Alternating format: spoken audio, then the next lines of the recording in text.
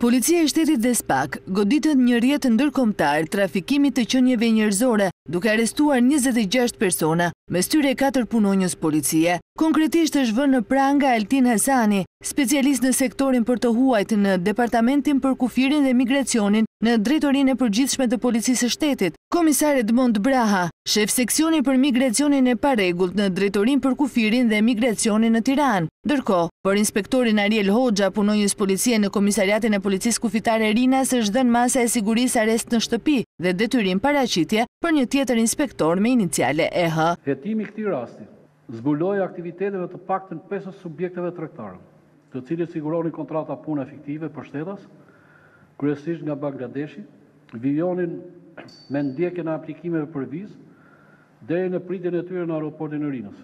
E gjithë kjo, përkundrejt pagesës individuale prej pesë mijë euro. Drejtori i Përgjithshëm i Policisë së Shtetit Muhamet Rrumbullaku tha se hetimi ka nisur që prej një viti. Nga operacioni u sekuestruan mbi një milion euro kesh, mjete motorike, armë dhe sasi lëndësh narkotike. Janë gjetur dhe sekuestruar trembëdhjetë automjete të markave të ndryshme, pesëdhjetë telefona, tre pistoleta, një çifte, pesëdhjetë fishekë, katër laptop, pesë kompjutra, pesëqind e njëzet mijë lekë të reja, katërqind mijë euro, shtatëqind mijë dollarë amerikanë, katër mijë paund, dy doza kokaine dhe dy doza kanabisi si dhe dhjetëra dokumenteve të sekuestruara.